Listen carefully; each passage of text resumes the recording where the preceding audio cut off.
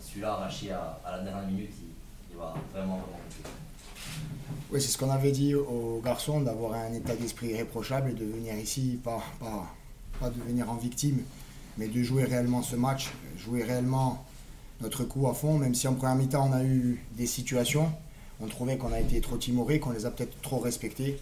Et en leur avançant dessus en seconde mi-temps, je trouve qu'on s'est créé quand même de belles situations et je ne pense pas que ce point soit immérité.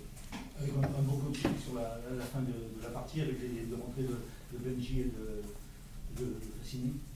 Oui, après, euh, on, avait, euh, on avait planifié un petit peu ces choses-là parce qu'on sait que pour le moment, il y a des garçons qui ne peuvent pas finir les matchs aussi. Donc, euh, c'était un petit peu. Euh, un petit peu dans notre tête. Après, bien sûr, les, les entrants, que ce soit que ce soit Dylan, que ce soit Benji, que ce soit Fasciné, quoi que ce soit, ils sont, ils sont bien, bien rentrés dans le match et de suite ça a fait, ça a fait la différence aussi. Donc il y a, il y a une mi-temps pour, euh, pour Auxerre et une deuxième pour nous et je pense que le match nul est, est mérité dans l'ensemble du match.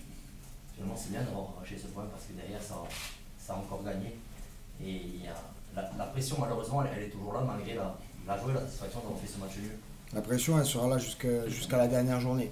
Je, je, je vous dis Sincèrement, on n'a pas regardé les résultats de derrière quand on a gagné les deux premiers matchs sur notre prise de fonction. On n'a toujours pas regardé les résultats sur euh, la défaite la semaine dernière. Et on va faire pareil ce soir parce qu'au final, on se fixe un objectif, un objectif de points, un objectif de, mentalité qui doit être un vecteur sur, l'ensemble de, toutes les rencontres qui nous restent à jouer. Et notre vrai objectif, il est là. Et si on met tous ces ingrédients-là, je ne me fais pas de soucis pour, euh, la fin du championnat. Lilian a eu cette euh, neuvième minute avec la banderole. Comment vous l'avez ah, j'ai pas vu. Ah, je suis désolé, j'ai pas, j'ai pas vu. Donc, mais je remercie, je remercie, euh, je remercie les supporters rois pour, euh, pour cela. Comme je l'ai dit sur les journaux, sans, sans, ce passage ici, je pense que, que j'aurais peut-être pas fait la carrière que, que j'ai faite. Mais je les remercie beaucoup. Pour revenir à, la rencontre, il y a eu ce, ce retour inattendu peut-être en, en 3-5-2, 5-3-2, en 4-3, peu importe que ça a évolué un petit peu au fil de, la rencontre, c'était pourquoi? Pour se donner un petit peu plus de, confiance, peut-être défensivement, face à, la meilleure attaque du, euh, championnat, en tout cas à l'une des meilleures attaques du championnat.